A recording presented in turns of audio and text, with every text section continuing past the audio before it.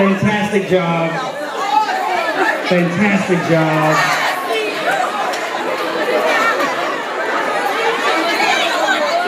Thank you all for a phenomenal Friday at the Explorers Club Conference.